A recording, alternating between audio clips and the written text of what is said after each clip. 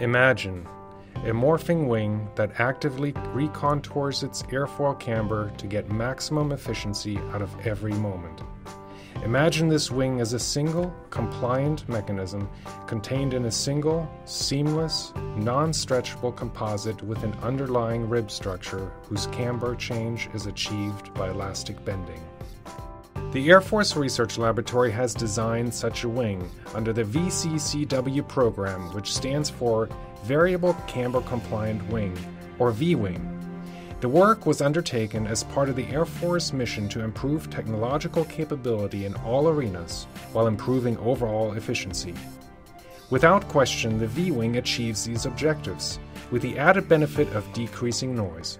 So, this is a breakthrough technology that everyone has tried to achieve to build a truly flexible wing. So we are very excited about exploring the opportunities that this technology can offer to the Air Force's future aircraft development.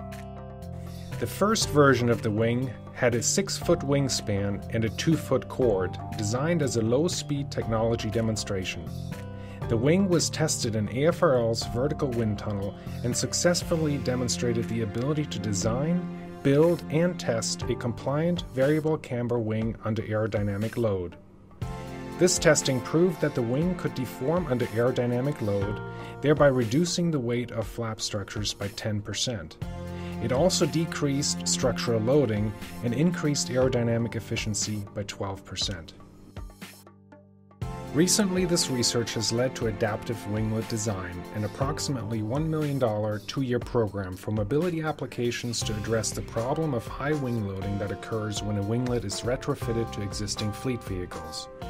Using similar technology, the Air Force Research Laboratory is developing a capability to reduce wing bending moments by changing the shape of the winglet. If it is successful, the system will transition to resolve current problems in fleet vehicles in the near future.